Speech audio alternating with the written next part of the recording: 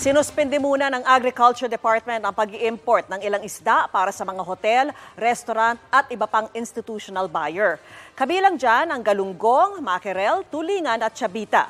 Ang pwede na lang daw ay bilhin o ubusin yung mga nauna ng pinayagang angkatin na nasa 25,000 metric tons.